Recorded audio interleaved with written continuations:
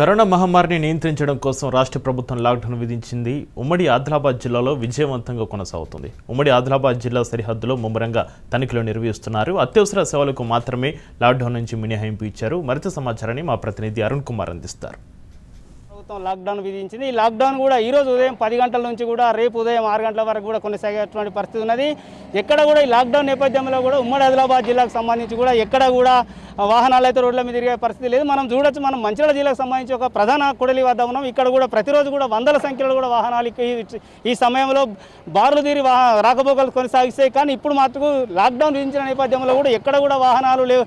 ఎక్కడ కూడా వాహనాలు కనబడేటువంటి పరిస్థితి లేదు. రోడ్లన్నీ కూడా నిర్మానుషంగా మారిపోయినాయి. ముఖ్యంగా ఉమ్మడి ఆదిలాబాద్ జిల్లాకు సంబంధించి కూడా కరోనాను లాక్డౌన్ను కూడా పటిష్టంగా చేపట్టడం కోసం కూడా ఖచ్చితంగా పోలీసు యంత్రాంగం అంతా కూడా ఇప్పటికే కూడా అన్ని చర్యలు చేపట్టింది. ఉమ్మడి ఆదిలాబాద్ జిల్లాకు సంబంధించి కూడా బార్డర్ చెక్ పోస్టులు ఏదైతే ఆదిలాబాద్ జిల్లాకు సంబంధించి బోకర్ కావచ్చు అస్వా జిల్లాకు సంబంధించి వాంకిడి కావచ్చు నిర్మల్కి సంబంధించి బేల్తరోడ అదేవిధంగా కూడా మంచిర్యాల జిల్లాకు సంబంధించి కూడా సిరివంచ వద్ద కూడా మహారాష్ట్ర సరిహద్దు ప్రాంతాలైనటువంటి ఈ ప్రాంతాలలో కూడా చెక్ పోస్టులను ఏర్పాటు చేసి ఇప్పటికే కూడా క్షుణ్ణంగా కూడా తనిఖీలు చేస్తూ ఉన్నారు. ఎవరైతే మహారాష్ట్ర నుంచి తెలంగాణ కావచ్చు అదేవిధంగా కూడా ఉమ్మడి ఆదిలాబాద్ జిల్లాలోకి ప్రవేశించే ప్రవేశించేటువంటి వ్యక్తులను కూడా థర్మల్ స్క్రీనింగ్ టెస్టుల ద్వారా కూడా స్క్రీనింగ్ టెస్టులు చేసి కూడా అనుమానం ఉన్నటువంటి ఎవరైతే లక్షణాలు ఉన్నటువంటి వ్యక్తులను కూడా తిరిగి పంపిస్తున్నారు.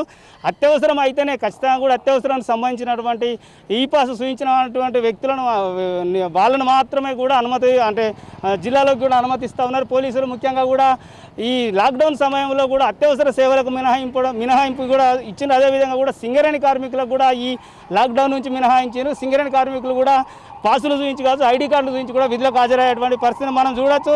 ఉమ్మడి ఆదిలాబాద్ జిల్లాకు సంబంధించి కూడా ఎక్కడ కూడా ఇప్పటి వరకు కూడా నిర్మానుష్యంగానే ఉన్నది. ముఖ్యంగా ఎక్కడ రోడ్లన్నీ కూడా నిర్మానుష్యంగా మారిపోయి కూడా వాహనాలు తిరగలేనటువంటి పరిస్థితి ఉన్నది. గతంలో కూడా మొదటిసారి లాక్డౌన్ సమయంలో పోలీసు వ్యవస్థ కూడా పటిష్టమైనటువంటి చర్యలు చేపట్టి లాక్డౌన్ కూడా సమర్థవంతంగా నిర్వహించింది. సెకండ్ టైం కూడా లాక్డౌన్ కూడా పూర్తి స్థాయిలో కూడా కట్టుదిట్టం చేసి ఖచ్చితంగా చర్యలు తీసుకుంటా ఉన్నారు. ఇక చట్టాన్ని ఉల్లంఘించిన వారిపై కూడా ఖచ్చితంగా కఠిన చర్యలు తీసుకుంటామని చెప్తున్నారు. ఇప్పటికే కూడా ఎవరైతే అనుమతులు లేకుండా బయట తిరిగే వాళ్ళని కావచ్చు వాళ్ళందరినీ కూడా పోలీసు వాళ్ళు ఇప్పటికీ ఆపి కూడా అన్ని చెక్ చేస్తూ వారిపై కూడా కేసులు నమోదు చేసేటువంటి పరిస్థితి అయితే జిల్లా వ్యాప్తంగా నెలకొన్నది. ఏదేమైనప్పటికీ కూడా లాక్డౌన్ కూడా ఖచ్చితంగా కూడా అంటే పటిష్టంగా నిర్వహించడానికి కూడా పోలీసు వ్యవస్థ అయితే పటిష్టంగా అన్ని బందోబస్తు ఏర్పాట్లు చేసినా కూడా తెలుస్తూ ఉన్నది. కెమెరా పర్సన్ సారేతో అరుణ్ కుమార్ రాజ్ న్యూస్ ఉమ్మడి ఆదిలాబాద్ జిల్లా.